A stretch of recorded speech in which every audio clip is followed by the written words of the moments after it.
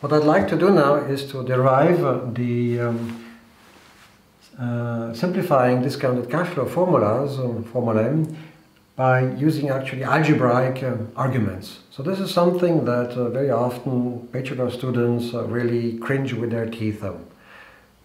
So here is the algebra, and it's essentially going to be based on a little lemma, which I would like to uh, introduce now. Lemma means that there are going to be some preparatory simplifying computations that we are going to apply all over and over again. It's really simple. though. You don't want to call this proposition a theorem. It's elementary.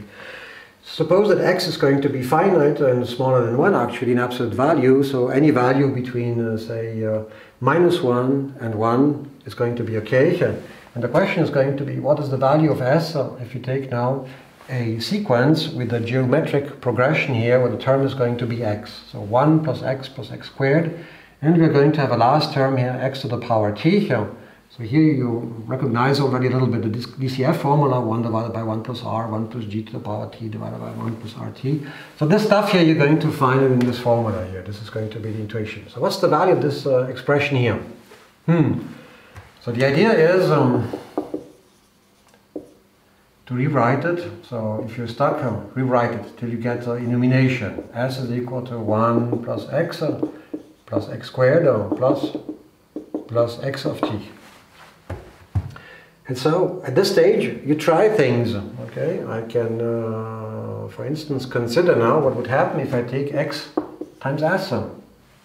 If I take x times s, I see that I'm going to have here as a first term x, as a second term here x squared, and then here I'm going to have at some point xt, and uh, the last term, which is going to be the xt, multiplied by x, here is going to give me x to the power t plus 1.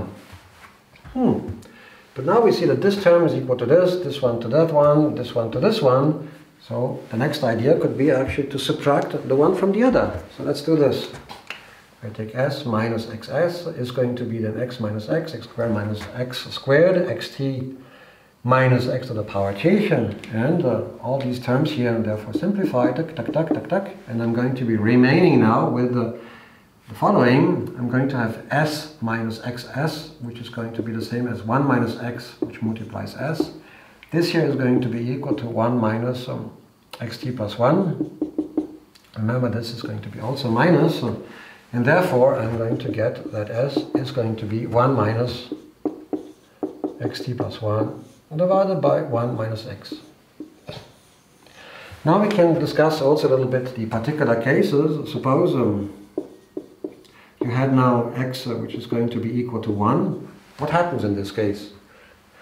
If you're going to have x is equal to 1, in this case uh, 1 minus x is going to be equal to 0 and you have something which uh, is not going to make any sense because essentially you're going to divide 1 by 0 which is going to be infinity. So this is not going to work.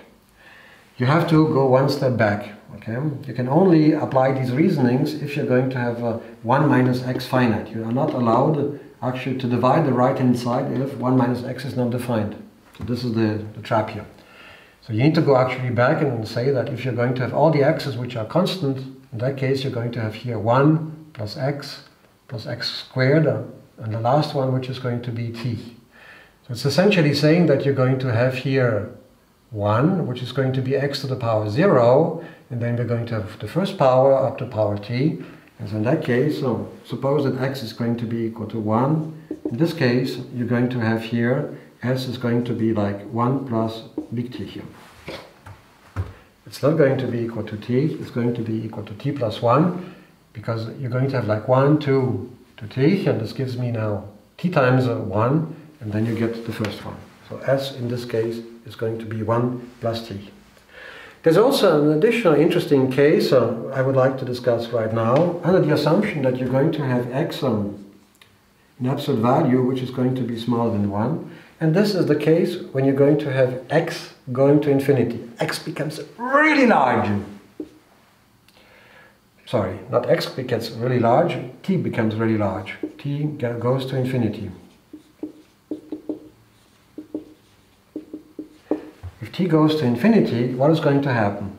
Suppose that I have now x is equal to 1 half. So if I take x to the certain power, it is going to give me first 1 divided by 1 fourth, then 1 uh, divided by 8, um, 1 16th. Um, at some point it's going to be uh, 1 divided by 1024, uh, and so forth. It gets smaller and smaller.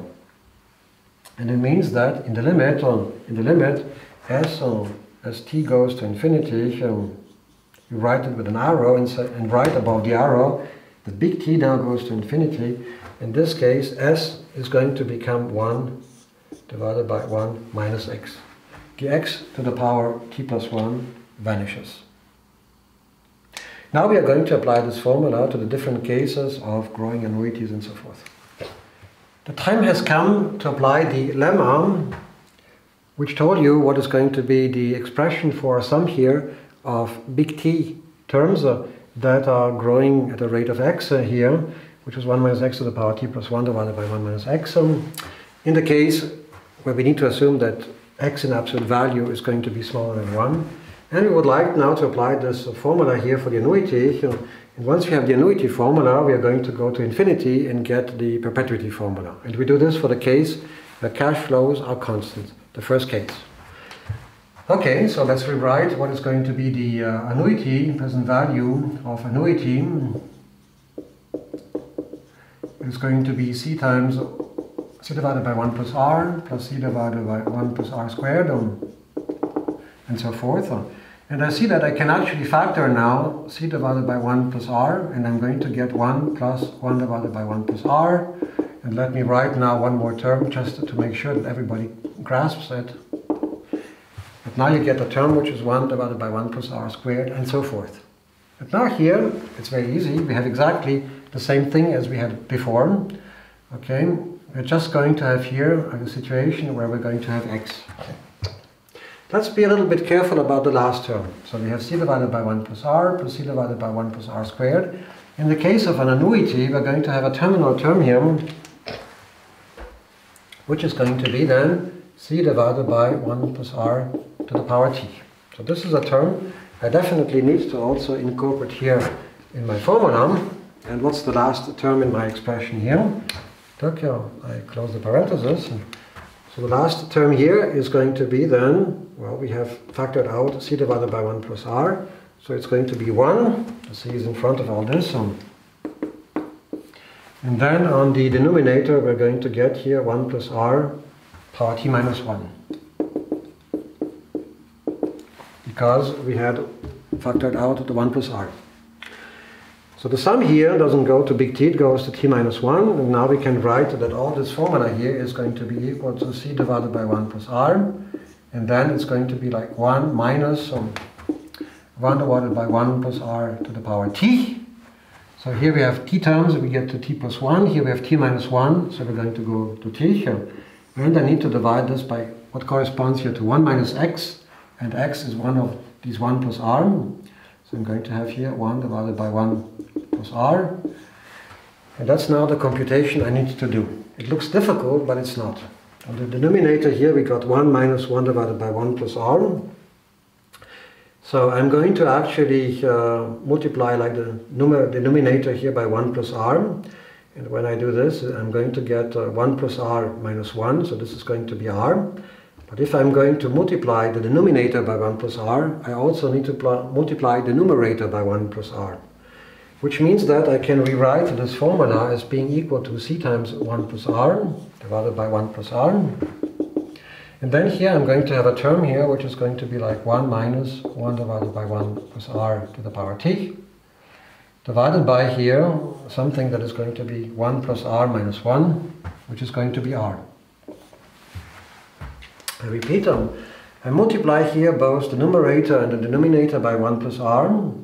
Okay, 1 plus r. This is going to give me this term here.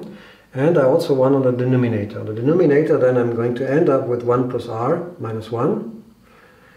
This 1 plus r gets simplified then by the term that I multiplied with. And so I'm going to have 1 plus r minus 1 gives me r. The numerator here doesn't change. And I have here 1 plus r as a factor. Now there are simplifications that uh, I have to, can, I can make, and this is always the best moment. These are cancelled, and oh surprise, surprise, I get now that the present value here of the annuity is going to be equal to c divided by r, this is the perpetuity, minus 1 minus, and then I'm going to have the shifted perpetuity, which starts at time big T. And so I need to subtract this one to get the finite stream.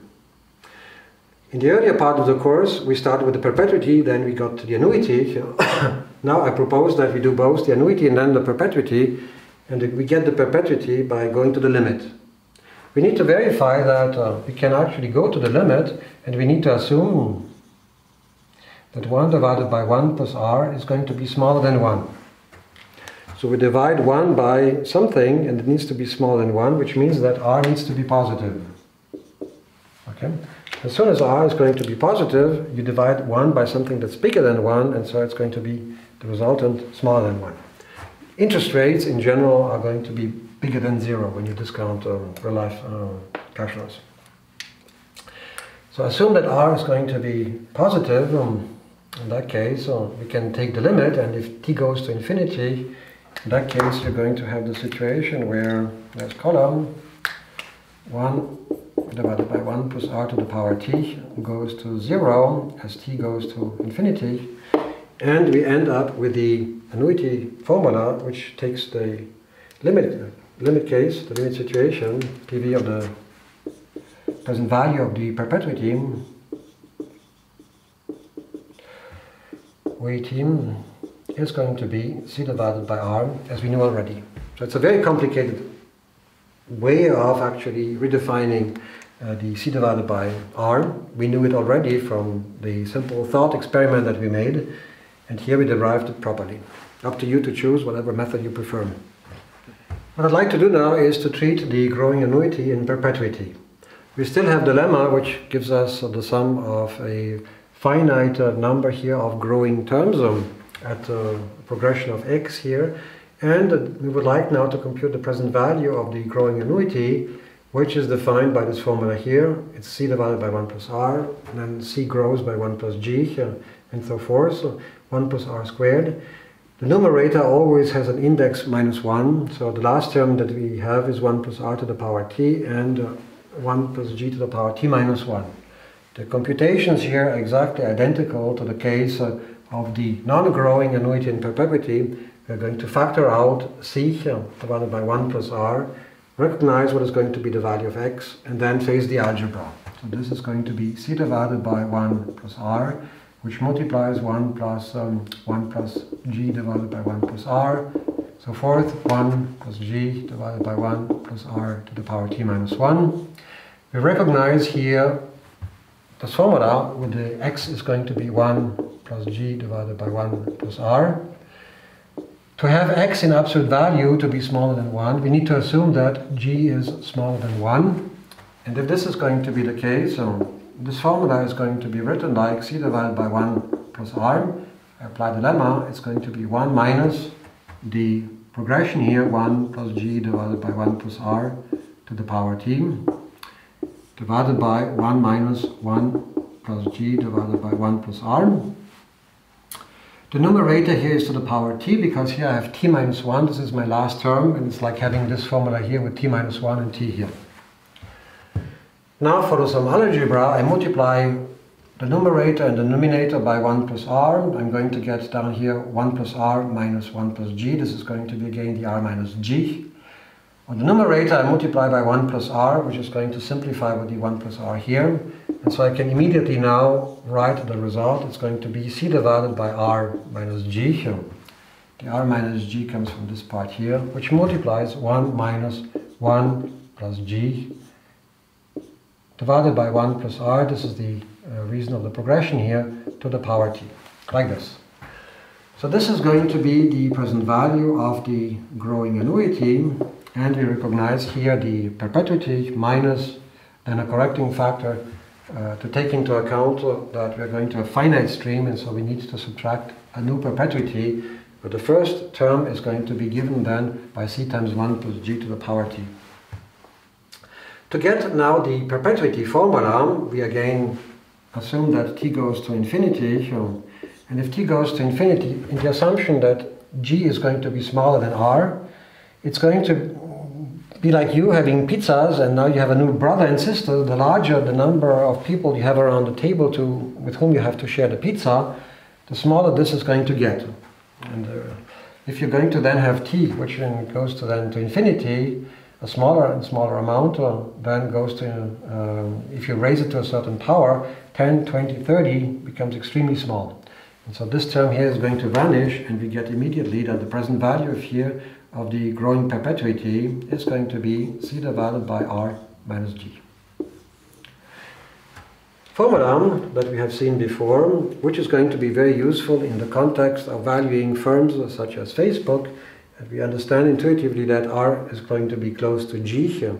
In that case, we are going to divide here a number by something that is going to be very, very small, and so the resulting number here is going to be very large. Suppose that c is going to be like 100 million, and suppose that r is going to be equal to g plus 1. Um, for instance, this can be 10 and this can to be 11. In that case, and the present value of the growing perpetuity is going to be 100 divided by 0.01. And this is going to give the 10 to the power 4. That's 10,000. That's a lot. Um, but we understand now that if you make a small mistake here in terms of the uh, growth rate, for instance, that the growth rate um, is actually not 10%, uh, but only 9%. Uh, in that case, uh, the R here is going to uh, be also something, let, let me rephrase this. Suppose that you're going to have the R which is going to be 10%, but suppose that the gene is not going to be 9%, but it's going to be like 8%. In that case, the difference between the two is going to be like 2%. In this case, you're going to have 100 divided by 0.02. And instead of getting now 10,000, okay, you multiply everything by 2 and you're going to have only 5,000. So small uncertainties here on the denominator are going to have absolutely dramatic consequences here in terms of the value. And this justifies why some values of firms are really oscillating very heavily, the smallest piece of news is going to affect then dramatically then your information set, and this means that it's going to have also a big impact on the prices.